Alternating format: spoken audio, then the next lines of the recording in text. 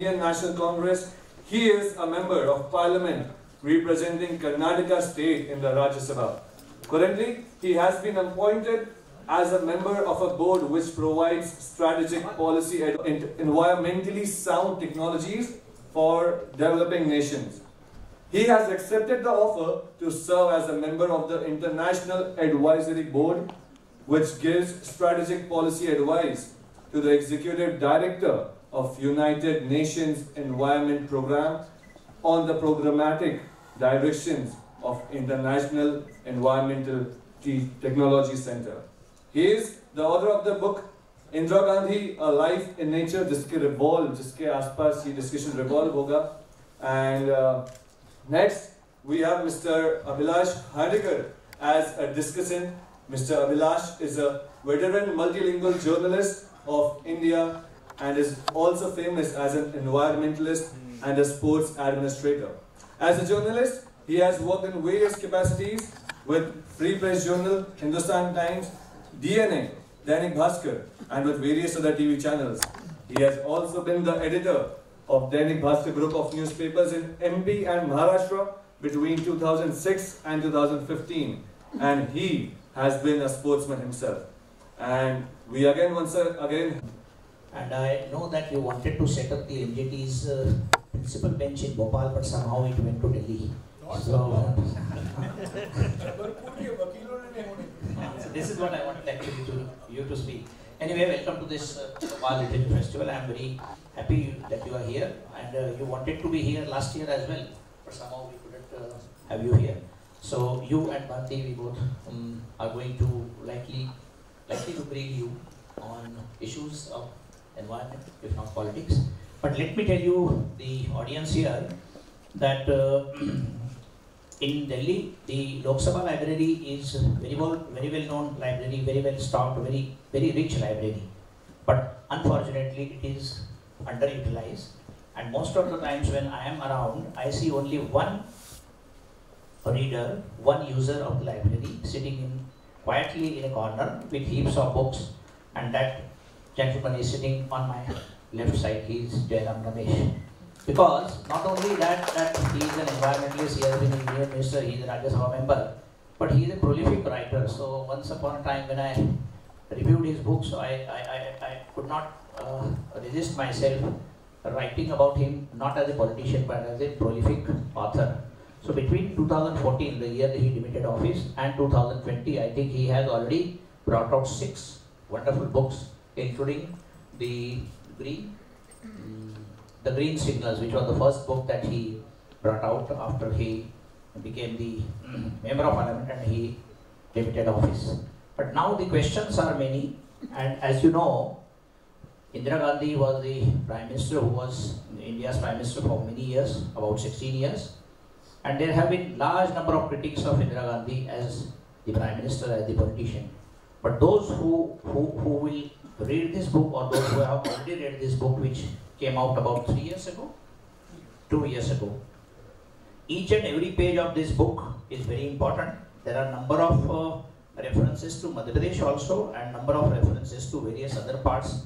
When Indira Gandhi was Prime Minister, how would she try to protect environment, wildlife, nature, and how she would talk to her chief ministers across the states and pull them up for any wrongdoing in their states as far as environment is concerned, which of course was not the fashionable word in the 60s or maybe 70s. So over to Bharti, you can start uh, reading Jairamji and then we'll ask him to um, talk about this book and then we'll ask him questions. What do you suggest? He has already spoken about the book a number of times, but still for the Bhopal audience, and then I'll ask you about the questions. well, uh, Indira Gandhi was India's first and last Prime Minister to walk the talk on the environment. Uh, her political legacy is very controversial. She's remembered for the emergency. Uh, her political legacy is also very commendable. She's remembered for 1971 and the emergence of Bangladesh. Her economic policy, people have problems with. She moved from the right to the left. However, on matters of the environment, for the 16 years that she was Prime Minister, she was consistent and she was committed. the four laws that we have today for the environment. The Wildlife Protection Act of 1972, the Water Pollution Control Act of 1975, the Air Pollution Control Act of 1981, and the Forest Conservation Act of 1980 were all her personal initiatives. They were not bureaucratic initiatives, they were her personal political initiatives. The institutions that we have today for protecting the environment, the Central Pollution Control Board and the State Pollution Control Boards, were her political creations, not bureaucratic creations. The Ministry of Environment was her creation. At the center, she remained Minister of Environment herself, the Cabinet Minister for Environment, till she was assassinated. And Indira Gandhi, when we look at Indira, when we see Indira Gandhi or when we hear of Indira Gandhi, we see her as a quintessential political figure, born in a political family, an intensely political personality. But she didn't see herself as a political figure. She saw herself as a child of nature.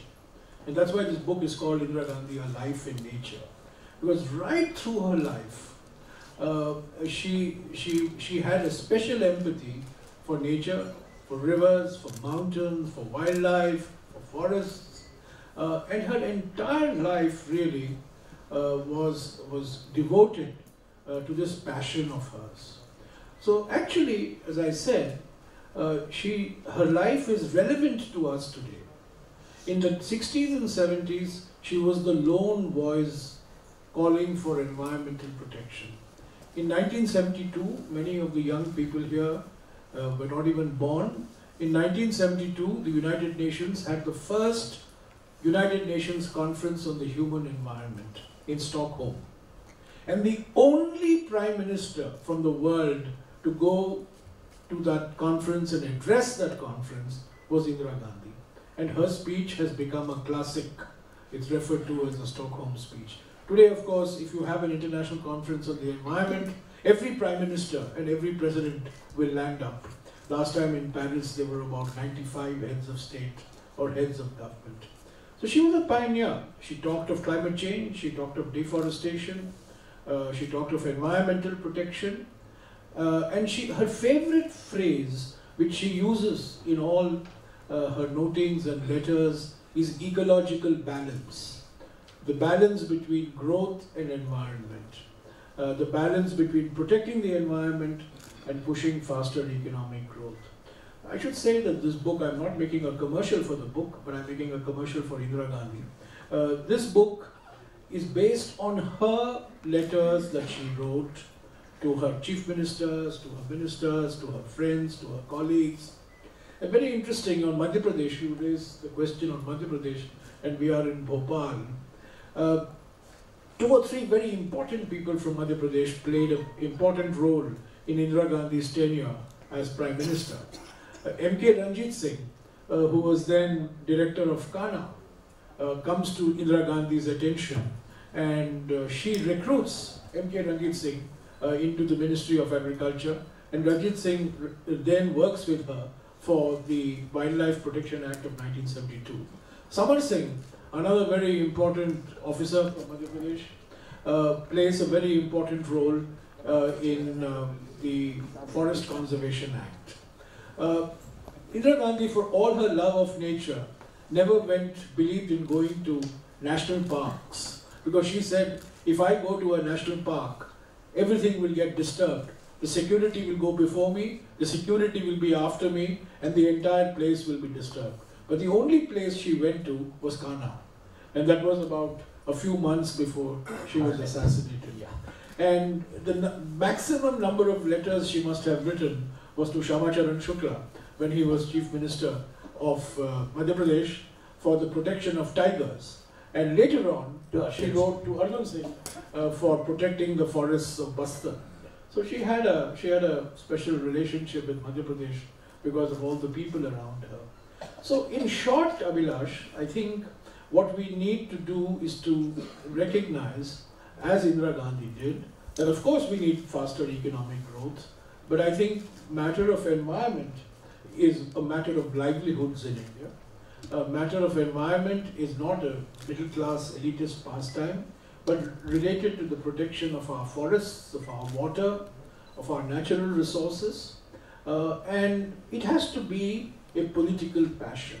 We just cannot make slogans and go to international conferences and say a quote from the Rig Veda and the Atharva Veda, uh, and then come back and loosen all the environmental laws. Uh, you know, and allow coastal regulations to be liberalized, environmental laws to be liberalized. So I think we need to we need to understand the unpopular environment is the most unpopular ministry uh, to have. I lasted only 26 months. If I had not taken my job seriously, I would have lasted 60 months. They say it's But a no-go ministry. Huh? Do you agree? They say it's a no-go Yeah, it's, ministry. it's supposed to be a no-go ministry. and in fact, Mr. Javadekar, you know, got up in parliament and said, I have cleared 3,000 projects. That shows how positive the Ministry of Environment is. And I got up and I said, I wish you had rejected 3,000 projects, then I would know that you're doing your job. Because your job is not to clear 3,000 projects. Your job is to ask questions on 3,000 projects. And Mrs. Gandhi, as I said, she was the only Prime Minister, first and last Prime Minister, who actually believed in what she was doing. She actually, she didn't just give speeches and give slogans, but she actually believed in what she was doing. And I think that's what we have to discover. We have to discover the political courage to walk the talk. Exactly. In one of the chapters, Jairamji writes about the tigers of, uh, I mean, this thing, and Indira Gandhi writes to Rajiv Gandhi, who was not um, uh, not young enough to enter politics, and she wrote to Rajiv Gandhi saying, "Somebody has gifted us a tiger skin which is lying in the corner of our room. I wish the tiger was roaming somewhere in the jungle." In What kind of 1956, in 1956, the tiger skin. In um, so she had a she had a you know um, she grew up. Uh, she was the only child. She was a lonely child. Father was in the prison all the time. Her mother was very sick. So uh, Indira Gandhi's childhood was spent in hill stations, Nainital, Almora, uh, Srinagar at times, uh, Mahabaleshwar, Panchgani. So she became naturally drawn to mountains to begin with. Her mother's brother was a botanist and he believed he was a herpetologist. He kept snakes and pythons in the house. Uh, Kailash Nath Kaul, a very distinguished botanist. So she grew up with snakes and, and pythons of the real kind before they had snakes and pythons of the political kind later. But you know, it was the of the real kind. And then she goes to Shantiniketan. We should never underestimate the importance of Tagore in our political thinking. Tagore had a profound influence on Gandhi. Tagore had a profound influence on Nehru. And Tagore had a profound influence on Indira Gandhi. She spends one year in Shantiniketan. Shantiniketan, yeah. Uh, and you know she, she becomes she becomes fond of uh, more things related to nature and then she's put into prison for one year in 1941 and she spends all her time observing insects and, and birds and you know on natural wildlife so there is a long history of her association I don't want to draw any parallels between a photograph that has appeared in your book, which is a wonderful photograph that Indira Gandhi picking up something on a beach, and it's somewhere in Lakshadweep or somewhere. And there are other photographs of beach of you know, political prominent uh, politicians. Well, you know, she went to Puri uh, and she saw the devastation of construction on the coastal line. And one consequence of her uh, visit to Puri was the coastal regulation zone, which is meant to protect the 7,500 kilometer long coastline that we have. Uh, tigers, you know, till 1970, shooting of tigers was legal in this country. Uh, then she puts a moratorium on the shooting of tigers, and there is a wonderful letter, wonderful note that she sends to one, to her, to her official, saying that uh, has Madhya Pradesh imposed the moratorium or not? Because I know the Shukla brothers run tourist camps for foreign safaris, and she's writing about her own chief minister. Yeah. She's writing about Shamacharan Shukla. She has written about three, four letters to Shyama Charan Shukla and on protecting the, the, the killing of tigers becomes illegal only in 1972. Two. And that then Project Tiger starts in 1973, uh, you know, with the first initial round of nine. Uh, but it's not just tigers. Uh, you know, it's the crocodile, the gharial, uh, the lion, the Project Lion, and the Gir forest, Sultanpur the bird sanctuaries in Sultanpur, And I don't know how many of you are familiar with an animal called the pygmy hog. Uh, the pygmy hog is a small animal. Uh, and somebody bought, there was a, I don't know how many of you read books by natural history. You know, when I was a kid, one of the most popular authors was Gerald Durrell. Gerald Durrell was, was a British author who was born in Jamshedpur. And he has written a lot about India's, you know, natural heritage and living in wildlife. So Gerald Durrell uh, wrote a letter to Indira Gandhi about this pygmy hog. Uh, and this pygmy hog is found only in Assam, uh, you know, in, in the forests of Assam. And uh, the letter there in the book, Gerald Durrell says, Madam Gandhi, if you don't do anything about this, the pygmy hog is going to be exterminated. I have, for the last six years, tried to do something about the pygmy hog, and my file on the correspondence with your officials on the pygmy hog is bigger than the pygmy hog itself. and, and she gets very upset with this, and then she starts a national program for the preservation of pygmy hogs, and now pygmy hogs are now no longer, uh, you know, endangered species. So there are a large number of these examples. Uh, just before, uh, you know, two days before she's assassinated, um, very interesting. Uh, you know, just two days before she's assassinated, she tells um, Jagmohan, who was then the governor of Jammu and Kashmir, you know, uh, Jagmohan ji, I have never been to Srinagar to see the chinar change its color.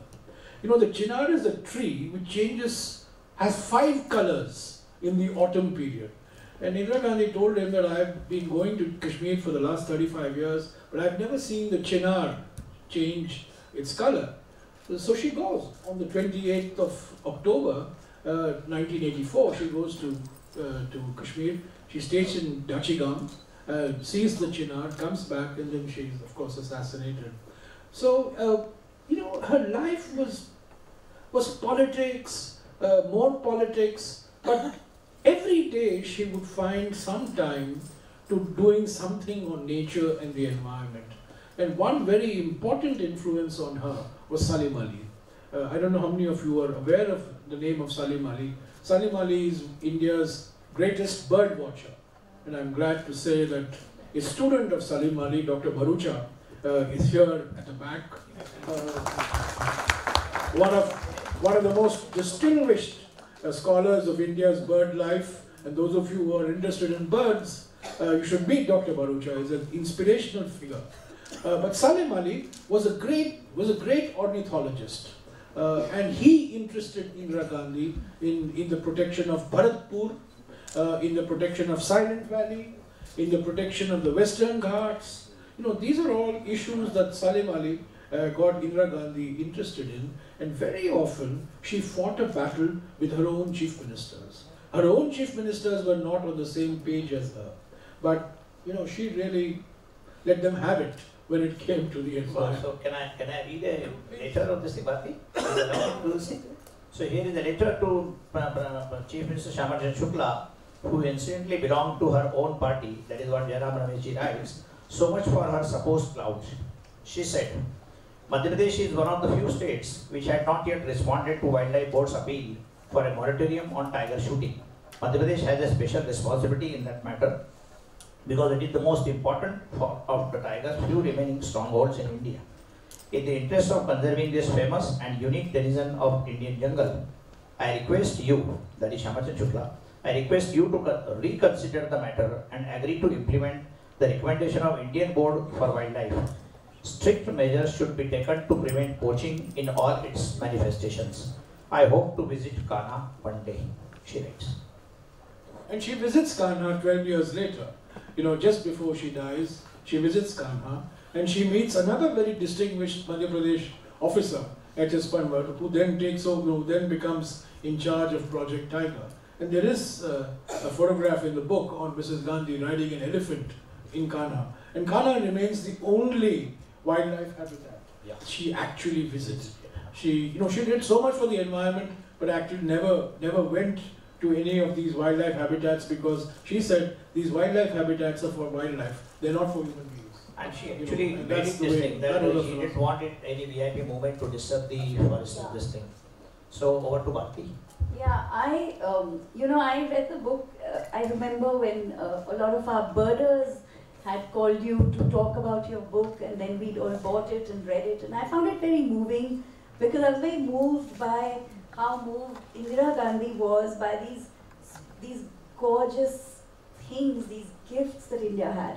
But I want to bring us uh, to a here and now, particularly because it's you that we're speaking with, and I have worked with Jairam a little bit uh, when you were a minister, and more recently, now that you're in the Parliamentary Committee for Environment.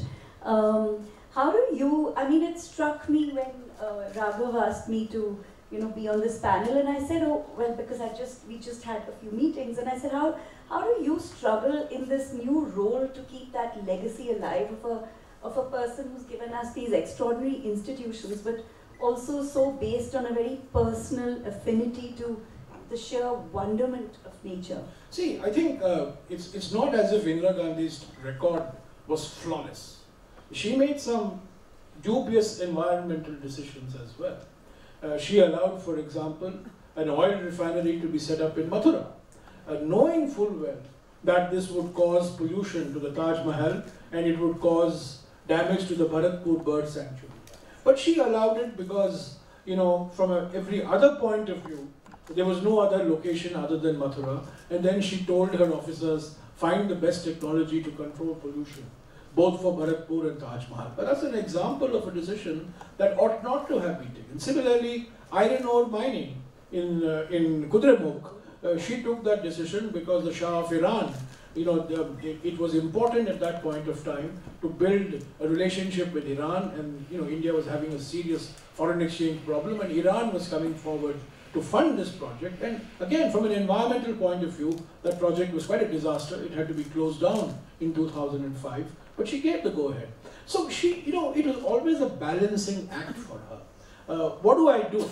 Uh, should I should I allow the factories to come up?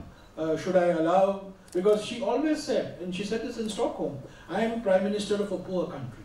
A poor country requires jobs. A poor country requires industry. A poor country requires environment, uh, uh, investment. But at the same time, I realize that I need, we need to protect our environment. So it's a balancing act, Bharti. And the fact is, sometimes you take decisions which will please the environmentalists, and sometimes you will end up taking decisions which will displease the environmentalists. So, in matters relating to environment, you can never satisfy everybody. That's the first rule for any minister for the environment to follow. That you can't achieve balanced satisfaction but you can achieve balanced dissatisfaction. If everybody is unhappy, that means the environment minister is doing his job. Very good. Well said.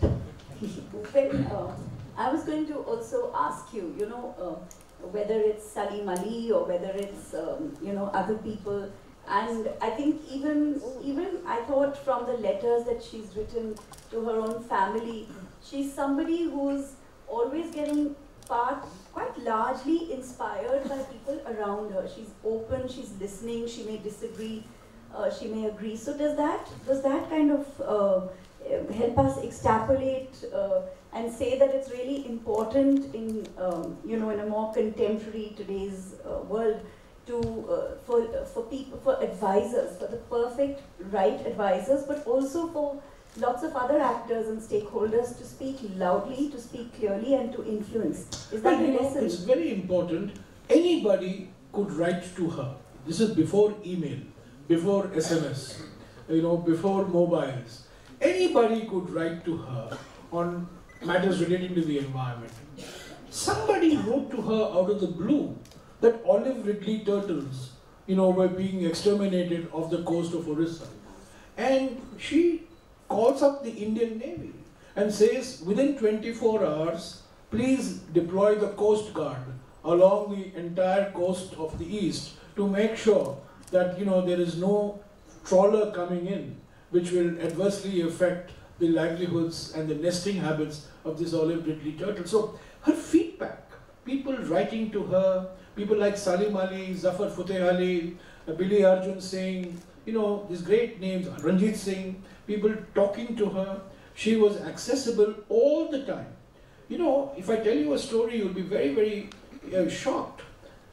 1971, India is preparing for war with Pakistan. The 10th of September, you know, the war with Pakistan starts on the 3rd of September 1971. We are on the 10th of September 1971. There is military planning going on. Manekshaw going in and out of Indira Gandhi's room. And four hours she spends on that day on a draft of the Wildlife Protection Act. With all these wildlife enthusiasts. I mean, it's bizarre. It's bizarre. I mean, you know, Manekshaw coming in, Manekshaw going out, Foreign Secretary coming in, Foreign Secretary going out, TN Kaul coming in, TN Kaul, PN Haksar, PN Dhar, and in between, little Salim Ali, Ranjit Singh, Zafar Futehally, Billy Arjun Singh, all these guys coming and discussing what? Wildlife Protection Act. So this, I think, is very, very important. You have to create the space. Today, there is no decision on the economy that you take that will not have some impact on water, on land, on forests, air, on your mountains. So you have to create a feedback system, you have to create your networks of information, and you have to be open, you have to listen to all of them. Today, unfortunately, what has happened, you're only listening to the guys who tell you ease of doing business, ease of doing business. So in the name of ease of doing business, you're actually now loosening all environmental rules and regulations and weakening all environmental institutions. That's not right. So Here Jairam, here is another uh, example, Bharti, yeah, sure. about the wildlife um, interest that she had.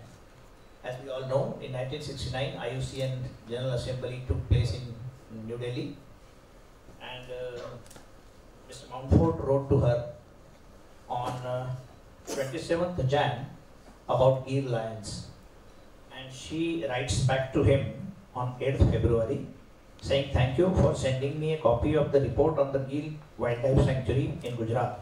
We shall pursue your suggestions with the government of Gujarat. This is what Indira Gandhi as Prime Minister writes. And then author Jairam, he writes, at her behest, an expert committee on national parks and wildlife sanctuaries visited Gir two months later. Finally, Gir Lion Sanctuary Project for the protection and preservation of species and its habitat was launched on 17 January 1972. Subsequently, because of her unflagging interest and persistent attempts at following up the state leader, with the state leadership, Gir was declared as a national park on 1st May 1975. You know, this Gir is very important. And now Because- I, I'm just just- Uh, because now we are expecting lions into Madhya Pradesh from Gir for last 10 or 15 years. So I would like you to say something. No, no, this Gir, ghee is very important because Gir is now the symbol of Gujarati Asmita, you know. Uh, and uh, the Prime Minister's uh, biggest complaint to Dr. Manmohan Singh was, आप सिर्फ tiger के लिए सब कुछ करते हैं गिर के लिए आप कुछ नहीं करते लायन के Actually, then Dr. Manmohan Singh called me and said, is it true that we are not doing anything for lions and we're doing anything for tigers, everything for tigers? So I showed him. I said, Sir, the first lion to be taken up as a national project was Project Lion in 1972. It's not true to say that we are focusing only on tigers, but the fact of the matter is, tigers are found in 14 states, and the lion is found only in one state, and in that state only in three districts. Nevertheless, the point is that we need to create conservation for, for all animals, whether it's tigers, lions, everybody, rhinoceros. Rhinoceros. I'll give you an example of the rhinoceros. Rhinoceros is the symbol of Assam pride. Uh, and you know, the Assamese believe that you know this rhinoceros is indigenous to Kaziranga. So are you calling about Dudhwa? That how they are And, and during the height of the Assam agitation, Indira Gandhi took the decision that it would be dangerous to keep only one habitat for the rhinoceros, so she created a second habitat, habitat at Dudhwa. And even though she was facing political problems in Assam in 81, 82, the relocation of the lion, of the rhinoceros, one-horned rhinoceros from, uh, from Kaziranga to Dudhwa happened.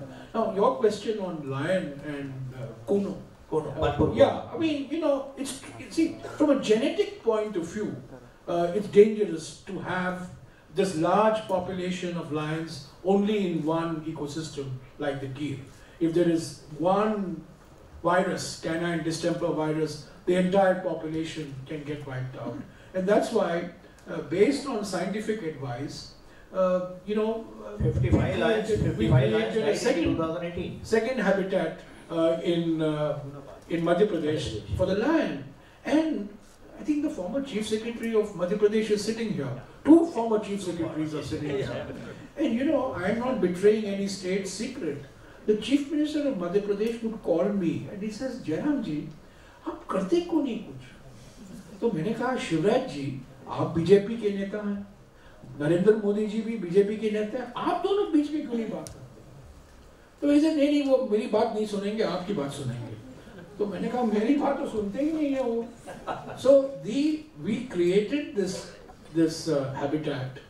The Supreme Court. Yeah. The matter went all the way up to the Supreme Court. The Supreme Court, the Supreme Court has decided, but the lion has become the symbol of Gujarati Asmita. So the lion will not go out of Amreli, Junagadh, and you know one or two other districts now that they. So now maybe the cheetah, cheetah. maybe cheetah the cheetah might. See, the cheetah is a very interesting example. Cheetah is the only mammal which has become extinct in India. The only mammal to have become extinct in modern day India is cheetah. And does anybody of you know what the origin of the word cheetah is? Would you know? You will be surprised to know that the word cheetah comes from the chitraka, which means spot in Sanskrit. So cheetah is very much linked to Indian culture and Indian civilization, but it's been hunted to extinction. So when I was minister, we started a program for reintroduction of the cheetah, and I'm glad to say that the maximum cooperation I got was from Madhya Pradesh. Uh, and Kuno was then identified as a possible spot, and those talks are now going on. So maybe Madhya Pradesh will get the cheetah much before it gets the lion. So, you know, uh, well, uh, you know, when I think of this, I almost feel it's wishful thinking because Jairam, honestly, we're mowing down, I mean, we, we really are struggling with keeping, um, uh, you know, the wilderness going because we have huge pressures from population, from urbanization, from, you know, the need for a better quality life for everyone. But coming back, you know, I was very struck right now, you were talking about um, institutions and how they're not working as they were envisaged. And I just wondered, and I'm thinking aloud, but it's a question to you, um, is, you know, what if Indira Gandhi came back, uh, version 2, what would she do about this, the environment ministry? What do you imagine? I mean, uh, you've kind of been a keen biographer, you, you understand the nuances. I mean, would you, uh, would you like to speculate? Well, I wouldn't like to speculate, um, but you know, I think um, I think she created the infrastructure for environmental regulation. She created the laws, she created the institutions, she created the regulatory bodies, and you know, it is for us to take that legacy forward. Unfortunately, what has happened is that we take great delight in passing these laws, uh, and we take greater delight in bypassing them. You know, we just these laws are are, not, are there on the paper books. We don't Pass, passing the laws and bypassing the laws. Bypassing Oh, greater good. task. But why is it that we don't actually manage to make more robust institutions which are which kind of live last longer than uh, Well, uh, see, our environmental laws are the most progressive in the world. We have the most progressive econo- uh, environmental regulation. In fact, I must tell you a story which no, very few people know. The Environment Protection Act of 1986, the background to that, Abhilash, Bhopal gas was tragedy. Bhopal gas tragedy. yeah Because of what happened in Bhopal on the night of second morning of the 3rd of December 1984, Rajiv Gandhi decided, and T.N. Seshan was then the Environment Secretary, that India must need a robust Environment Protection Act. So the fifth ins- law, I've already mentioned the four laws during Indira Gandhi's tenure. In 1986, we had the Environment Protection Act. And the Environment Protection Act really governs the regulation of environment, the siting of projects, and so on and so forth. Uh, but it is, uh, I heard, I was hearing both of you speak, Mr. Parihar and you speak, and you were talking of public hearings uh, and sunwais, jan sunwais. जहाँ सुनवाई होती है वहाँ जन नहीं होते हैं जहाँ जन है वहाँ सुनवाई नहीं होती है This is the tragedy of public hearings. Where there is public, no hearing. Where there is hearing, there is no public. And who is the biggest culprit? I'm sorry, with due respect to Mr. Parshuram and Mr. Behar, governments are the biggest culprit.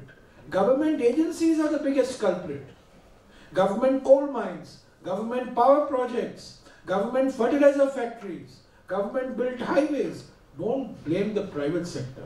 Government agencies themselves, governments themselves bypass these laws.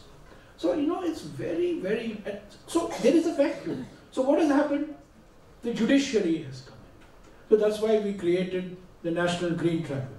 You asked me this question about the National Green Tribunal.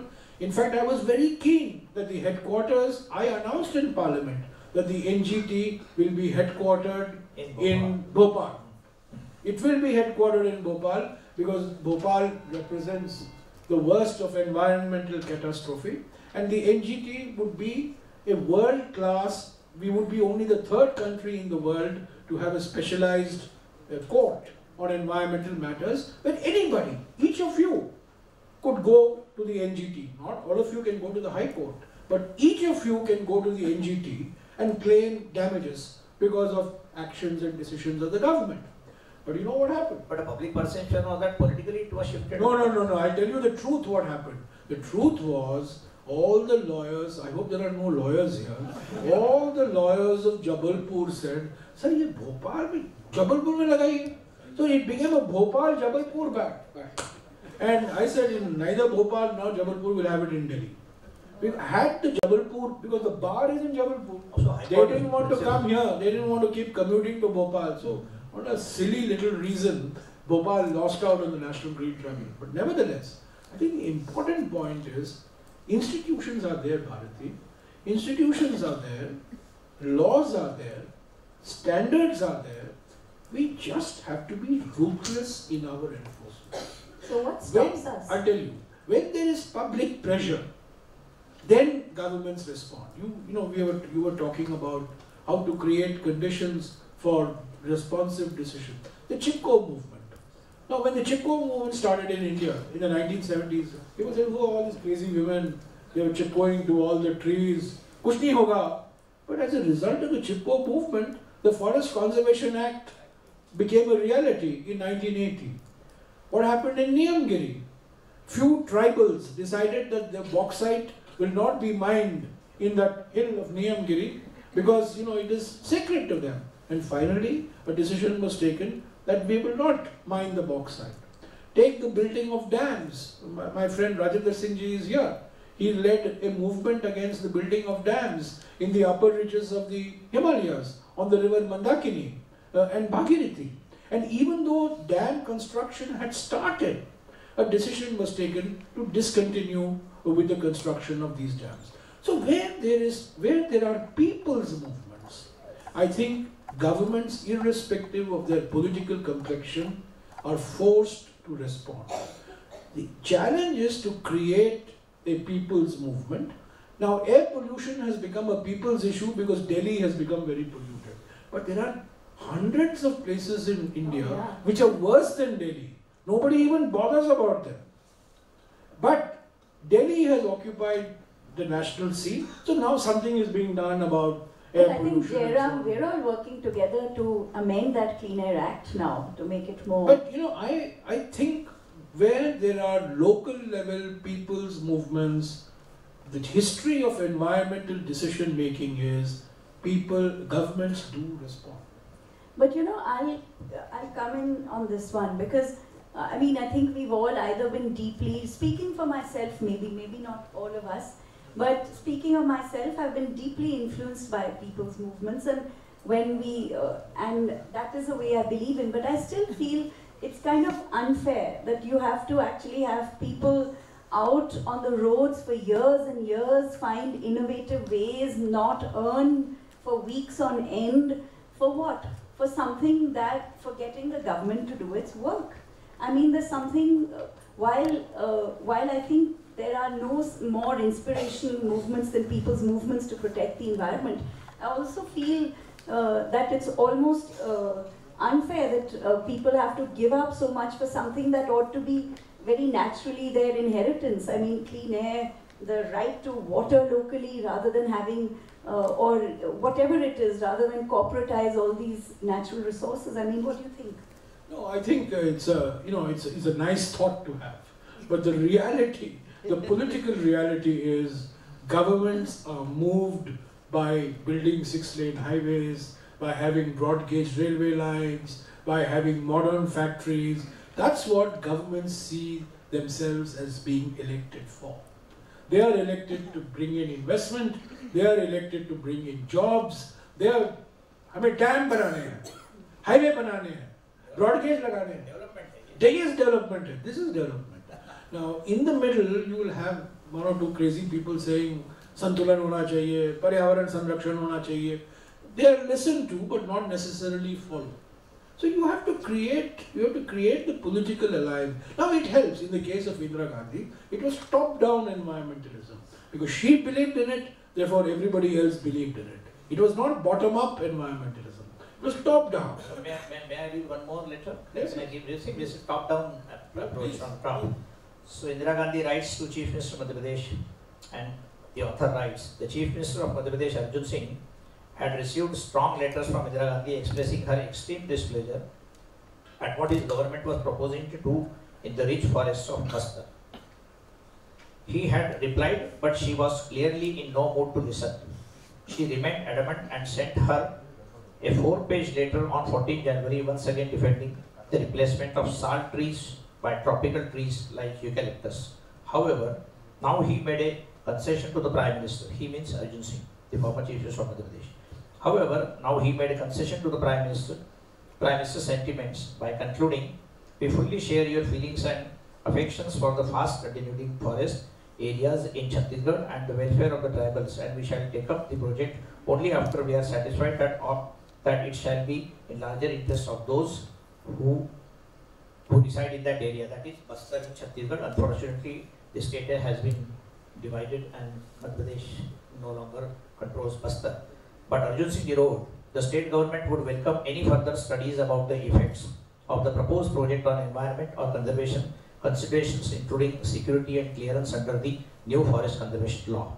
Indira Gandhi was powerful, as you write, as in this case of the Back Bay reclamation issue in 1974, she also wrote to the then Chief Minister of Maharashtra. So she was in a habit of telling her Chief Ministers to behave or be sensitized towards the environment, which was not actually as fashionable as it is today.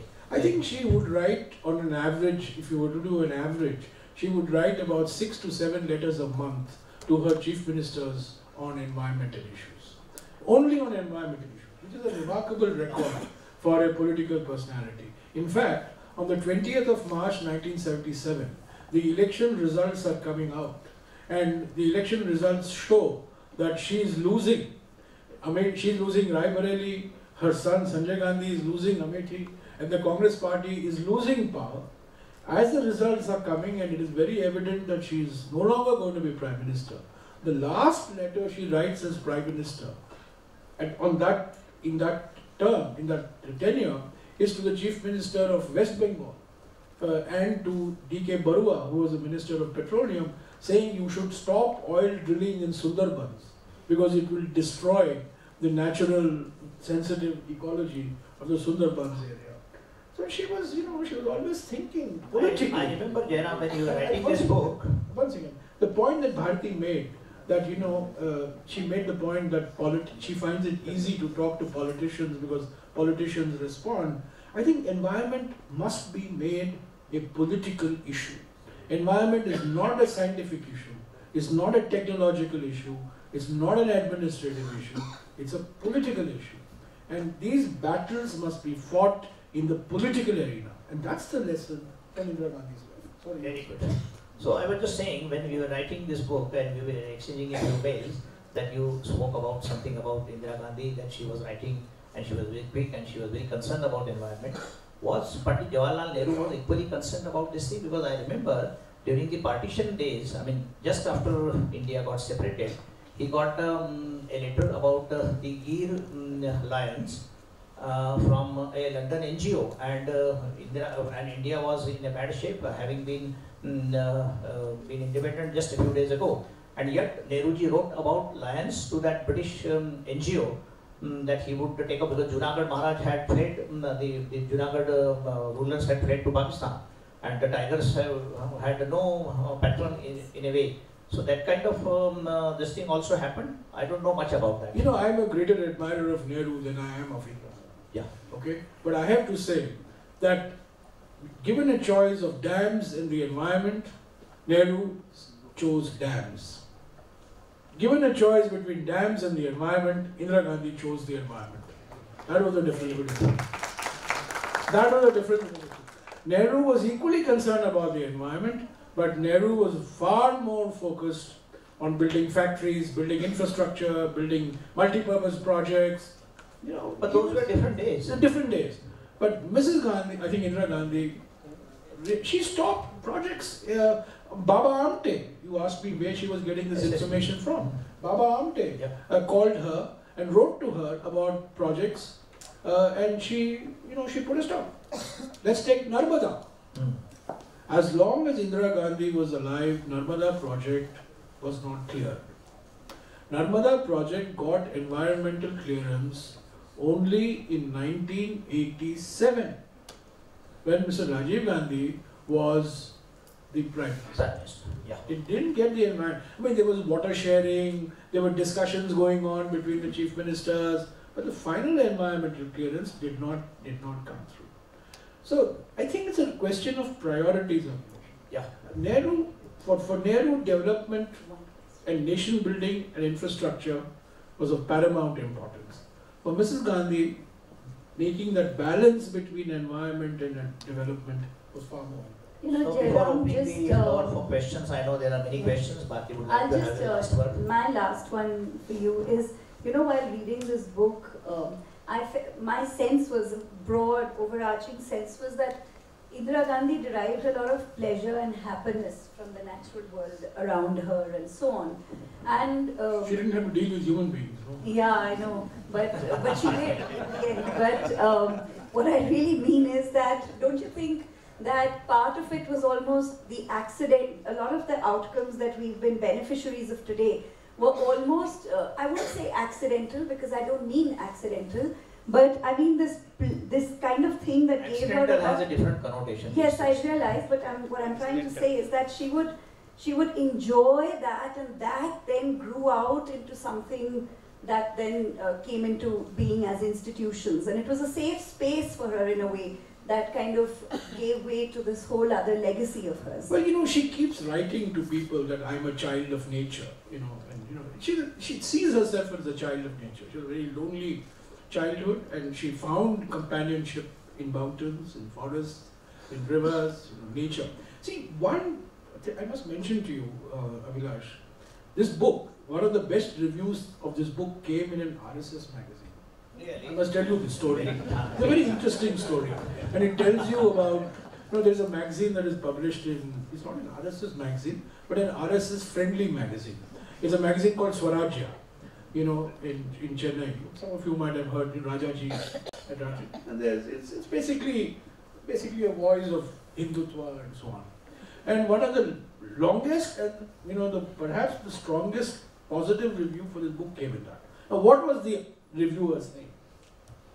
Reviewer was saying that Indira Gandhi was great because what she was telling the world and what she was telling Indians is that India must rediscover the Hindu traditions of environmental worship. And it's true. It's very interesting.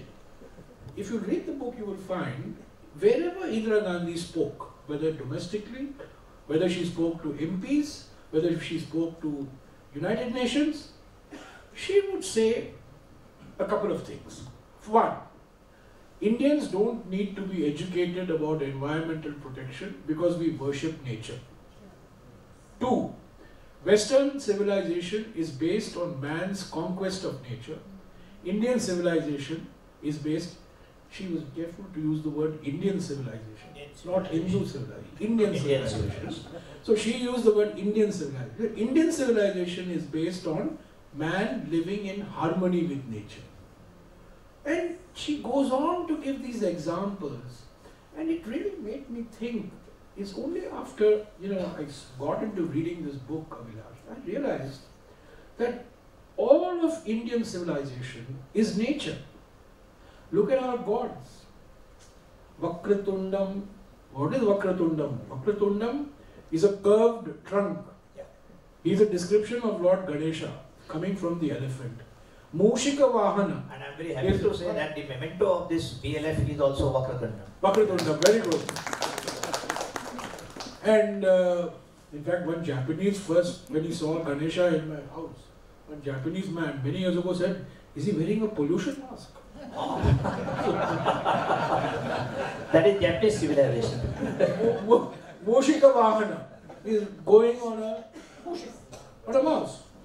You look at calendars of Durga. You have Shiva Durga and you have Vishnu Durga. Durga on a lion, Durga on a tiger. You look at, you see the prayers we we say when we were young, when you have your thread ceremony. Gange Yamuneche, Narmada Saraswati Godavari Sindhu Kaveri Jale Asmin Sannidhin Kuru. We are praying to the seven rivers. And those of you who are old enough will remember Raj Kapoor's famous song, who describes himself as Ganga Meri Maa ka naam, Baap ka hi naam Himal. So your definition is nature. Nature. So what Indira Gandhi was telling all the people is, she was telling her MPs, she was telling her chief ministers, look at your own culture. You have a proud environmental culture. Do not despoil, do not, you know, endanger the environment. I think this is a very powerful message. And if you go to the Ministry of Environment, which Bharti I'm sure has gone and you have gone in Delhi, on the entry to the ministry, will you will find Mrs. Gandhi's most favorite quotation from the Upanishads, which is Prakriti Rakshati Rakshata. Nature protects those who protect nature. If you don't protect nature, nature will get back to you. Now, this is not a concept in Western civilization. This is a uniquely Indian civilizational concept. This is not even in Chinese civilization. Maybe Japan comes close to it in terms of respect for nature. So I think the message to the youngsters in the audience is that Indian civilization has a very, very rich tradition of preserving our forests, preserving our rivers, preserving our mountains, and I think we should keep that legacy as it is. So while are, we would like you to mm, continue, there is some time limitations. So may I have your permission to open the floor for a couple of few choicest questions? And I am requesting the audience to please ask questions, be brief. No suggestions are required for Sri Jairam Ramesh because he is no longer the environment minister.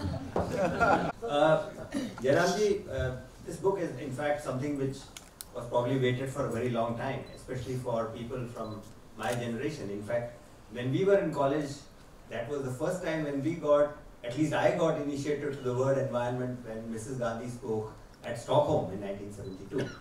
Uh, and uh, before I go to my question, uh, thanks very much for referring to Mr. Behar and me. Let me promise you, I can't say about Mr. Behar, but he has been my, one of my gurus, that our heart beats for the environment all the time. One more, one more point, that you are not the only one who suggested to the Chief Minister that he should speak to Mr. Modi. His Chief Secretary also did the same.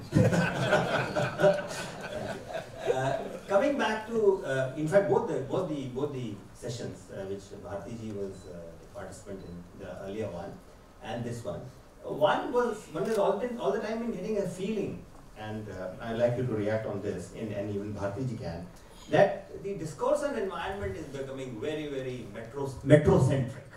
It continues to. And you also said that even during Mrs. Gandhi's time, during Mrs. Gandhi's time, I mean, Mrs. Gandhi herself, it was a top-down kind of an approach. Now, now, going back to what V.S. Naipaul said, that India is a land of million mutinies. How can, I mean, do you think we can succeed with things environment unless there is a big upsurge from down below? And how, do you think it can come about and how? I mean, it's a difficult point to answer, but still I would love to have a reaction from you on this.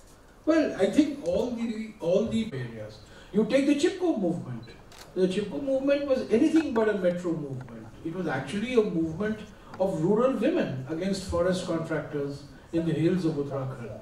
You take the Niyamgiri movement. The Niyamgiri movement was a movement of rural illiterate Dongria Kondhs against the metro guys who wanted to mine bauxite uh, from the Niyamgiri hills.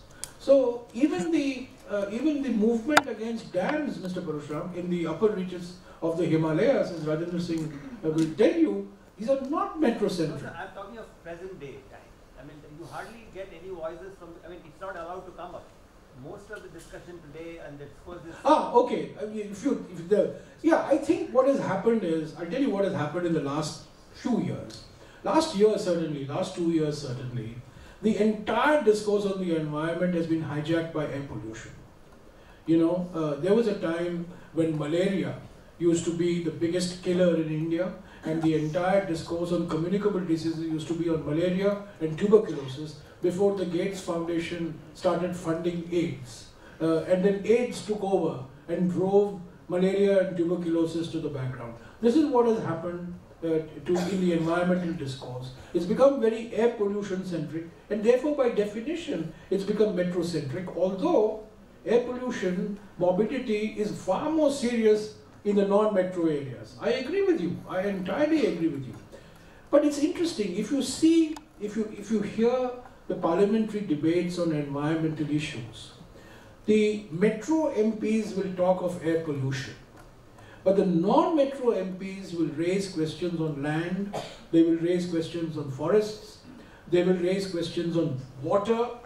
So maybe it's not the discourse of environment per se, but the way the environmental issues come out are issues of water, are issues of land, are issues of forest. And I think these are very, very important issues. But I, I, don't, I do not disagree with you that we have now become really, air pollution has now become the definition uh, emblem of our commitment to the environment.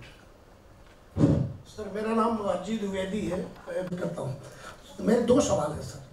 क्या ये सही है कि अपने second term में इंदिरा जी, मैंने wild life की तरफ़ ज़्यादा थी पॉल्यूशन की तरफ़ कम हो गई थी, उनके रहते रहते ही यमुना के किनारे में लेदर फैक्ट्रीज और गंगा और जमुना का पानी प्रदूषित हो गया था? तो क्या प्रदूषण वाइल्ड लाइफ और नेचर तो अलग है, पर प्रदूषण की तरफ़ उनका उनकी उनकी थोड़ा पहुँच कम थी क्या? इक्लिप्टस होना ग्रीन रिवोल्यूशन में यूरिया का आना और केमिकल उसका नदियों में जाना, ये सब उनकी ही देन है, उनके, मैंने उनके मैं पॉलिटिकल नहीं उन्हीं के टाइम पे हुआ। तीसरा, दूसरा क्वेश्चन ये है सर कि जब डूइंग बिज़नेस में क्या पर्यावरण के आधार पर प्रोजेक्ट्स को रोकने में बहादुरी है क्या? क्या वो देश जो हम सत्तर नंबर पे हैं, जो देश एक, दो, चार, पाँच नंबर में है, क्या वो पर्यावरण के विनाश की तरफ़ है? ये बात सही है कि सत्तर और अस्सी के दशक में पचहत्तर में। वो इसलिए आया क्योंकि गंगा में प्रदूषण देखा गया मुंगेर डिस्ट्रिक्ट में। और एयर पोल्यूशन एक्ट आया उन्नीस सौ इक्यासी में क्योंकि तब चिंता रहा कि मथुरा ऑयल रिफाइनरी से ताजमहल पर क्या असर होगा। ये जो हम आज बात कर रहे हैं, प्रदूषण और खास तौर से वायु प्रदूषण, स्वास्थ्य के नज़रिए से ये पिछले दशक की भावना है। पहले ये भावना नहीं थी। पहले हम औद्योगिक प्रदूषण को ज़्यादा प्राथमिकता दिया करते थे, आज हम पब्लिक हेल्थ सार्वजनिक स्वास्थ्य के नज़रिए से देखते हैं। ये बात सही है जो आपने कहा कि अगर आप ये किताब पढ़ें और इंदिरा गांधी जी की जो उनकी उपलब्धियाँ हैं, उसको देखें, ज़्यादा ज़ोर उन्होंने जंगल संरक्षण, वन संरक्षण को दिया, प्रदूषण को कम दिया। क्योंकि प्रदूषण वो तब इतनी गंभीर समस्या नहीं थी जितनी कि आज बन गई। तो ये बात सही है। 1970 और 80 के दशक में ज़्यादा उनका कहना वन संरक्षण के बारे में था जातु प्राणी संरक्षण के बारे में था, पहाड़ों को के संरक्षण के बारे में था, पर उन्नीस सौ तिरासी में वो समझ गई कि ये प्रदूषण काफ़ी गंभीर समस्या बन चुकी है, इसीलिए प्रोजेक्ट गंगा की जो गंगा का पहला चरण उन्नीस सौ तिरासी में शुरू हुआ।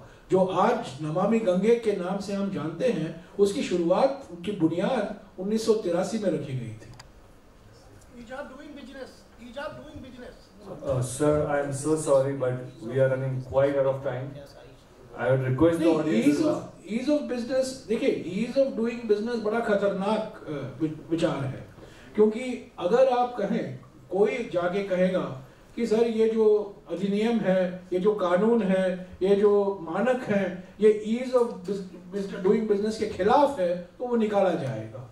तो मैं ये चिंता करता हूँ कि दो तीन साल बाद ये लोग समझ जाएँगे कि आज हम 77 नंबर पर हैं। अगर हम 77 नंबर से 50 नंबर पर आना चाहते हैं तो कुछ एक दो ऐसे पर्यावरण संबंधित कानून को आप कमज़ोर कीजिए तो ईज ऑफ़ डूइंग बिज़नेस अपने आप ही सुधर जाएगा ये बड़ा खतरनाक है और मैं इससे सहमत नहीं हूँ ईज ऑफ़ डूइंग बिज़नेस से मैं बिल्कुल सहमत नहीं हूँ Uh, last question for the session. Uh, hello. My name is. Well, the biggest challenge in terms of the highways built, the rail lines open, the factories set up, the investments that have been attracted. So this GDP growth, you know, becomes a shorthand expression, uh, and that drives the decisions of all governments, irrespective of political So- So parties. perhaps he wants to know from you, what were biggest challenges when you were in government? So you could list one or two that we, which you couldn't really mm, find answer to that. Uh, As Environment Forest Minister, Jairam Ramesh had faced so many challenges, which were those which were very tough. Let's take the Maheshwar project. Shivraj Singh Chauhan went on hunger strike in Bhopal, saying that I did not clear the Maheshwar project. That was a difficult choice to make. Digvijay Singh also supported the Maheshwar project. So here I had a former chief minister and a current chief minister of Madhya Pradesh arguing for a project, and on the other hand, I had Medha Patkar and all her activists of the Narmada Bachao Andolan saying that the Maheshwar project will submerge large areas and make large number of people homeless. That was a choice I had to make, and based on some field studies that we carried out, we stopped the Maheshwar project. Uh, that was a difficult decision to make. Uh, another decision that Mr. Behar knows uh, very well, uh, the dams in, in the upper reaches of the Ganga. NTPC had already built a dam. 40% of the expenditure had already been incurred on the Lohari Nagpala Dam, uh, on the Bhagirathi River, on the Mandakini River, uh, and uh, it was environmentally a disaster. People were against it. And uh, Professor G.D. Agarwal went on a fast unto death in Haridwar on this. And finally, I had to come with great difficulty. I had to persuade my own Prime Minister, my own Finance Minister. Uh, in fact, my biggest challenge was to persuade my own ministerial colleagues that environment is worth fighting for. Uh, you know, that the agriculture minister, and you know, maybe if I was power minister, my, in fact, I was power minister, I should say. So, but, uh, you know, the job of the power minister is not to protect the environment. The job of the power minister, he views it as amount of power capacity I have added. Uh, the agriculture minister judges his success by how much of agricultural production I have added.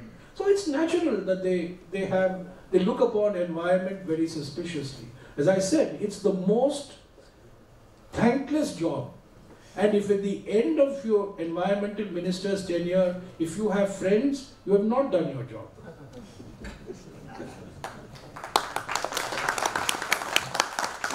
Question? Anybody else? This young lady is sitting, yes, please. Yeah, Yes, stand up. Please stand up and ask question. You want to buy? violence whenever environment is concerned. And uh, also the fact that India is a developing country and we need roads, we need highways as well. So, and at present the situation is uh, quite drastic because we've seen the air pollution also and it's happening in smaller cities as well. So what should be, uh, what should be India's approach as a developing country in the future dealing with environment? Because we need development also, but we need to protect the environment as well. What should we do? the, the, the natural response of any government is signal environment but do development. You know, पर्यावरण और विकास के बीच में संतुलन होना चाहिए this is standard phrase everybody uses in parliament. पर्यावरण और संतुलन के बीच में हमेशा संतुलन होना चाहिए. Who can argue with this statement? It's unarguable. Problems arise when you start implementing what you're saying because you have to end up making choices.